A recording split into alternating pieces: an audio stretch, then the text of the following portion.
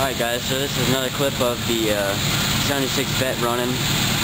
And um, I just uh, yesterday changed the oil, I put uh, synthetic oil in it and um, a new filter.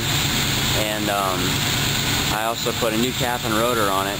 And um, that made the engine sound tons better. Uh, there was a noticeable improvement in the, the smoothness of it idle and um, so I'm pretty sure the old one was just you know getting corroded and whatnot. Um, the old cap and rotor.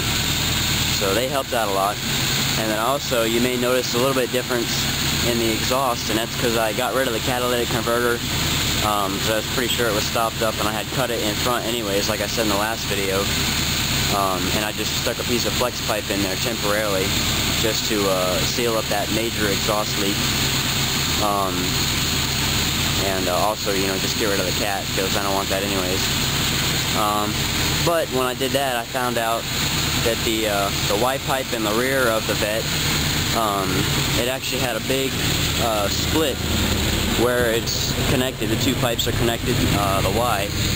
So it's really uh, leaking pretty bad there. I'm, I'm going to try to get it welded uh, sometime until I can just buy a new Y pipe.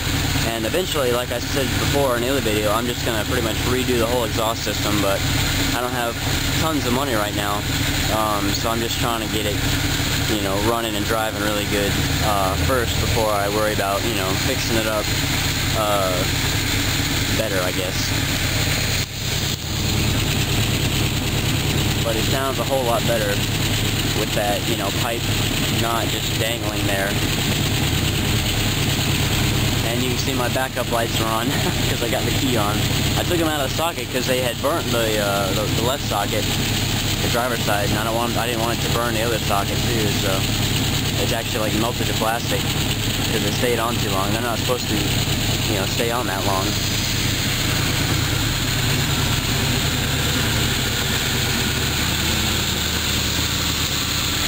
So I just want to make a brief clip of it running and uh, also got my headlight up. Uh, I got got it put back together with the old parts.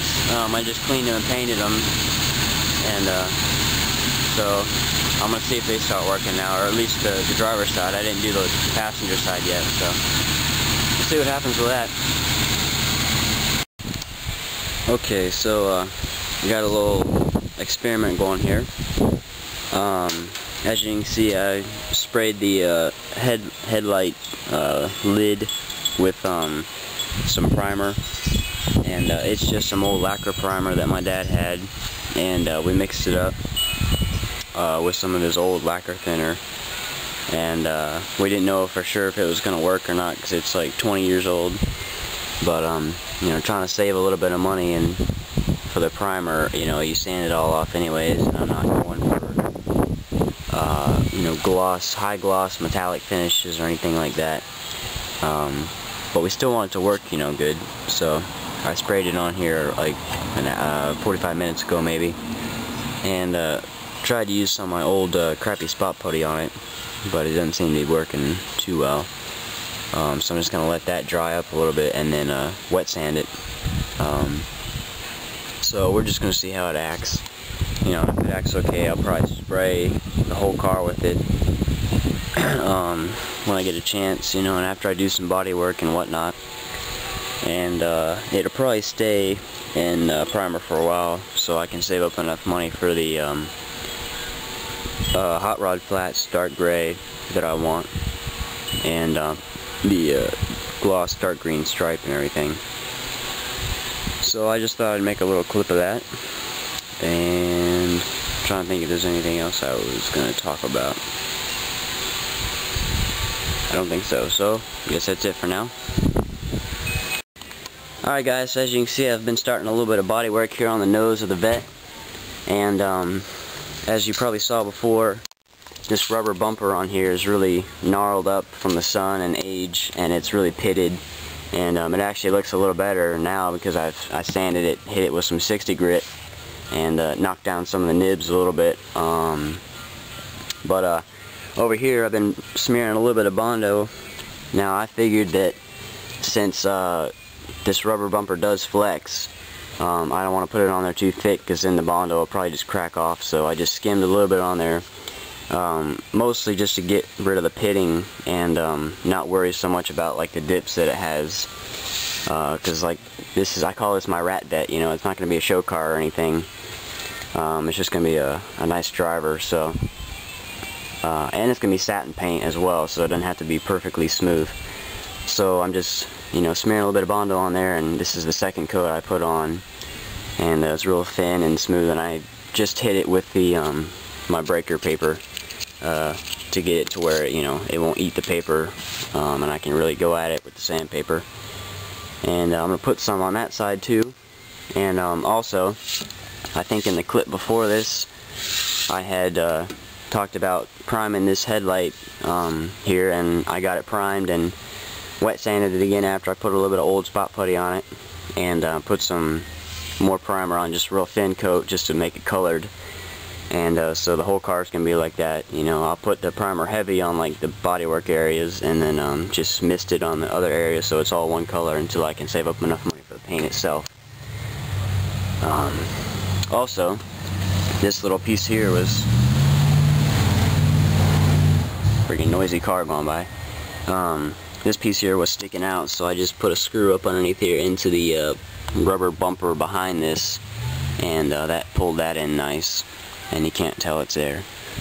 Um, I also want to show you the back here. Uh, so you probably saw that this was pretty gnarled up too, um, but it's not as pitted as bad as the front was, so I just hit it with some 60 grit, and um, it it smoothed it out pretty nice. I took the emblem off. And um, I'm going to wet sand it with some like 220 and then prime it pretty heavy. And uh, that should be really good there. So that's what I'm doing today, just starting on that. Alright, so I got both the uh, front rubber bumper part and the back uh, rubber bumper part covered in some primer here. And uh, just put a couple thick coats of lacquer primer on there. It's the old stuff that my dad had and um, I just put the lenses back in the tail lights and uh, so I think it looks tons better just being like a uniform color and um, being quite a bit smoother um, still needs to be spot puttied and blocked down quite a bit um, but it, it looks tons better just like it is right now so let me show you the front here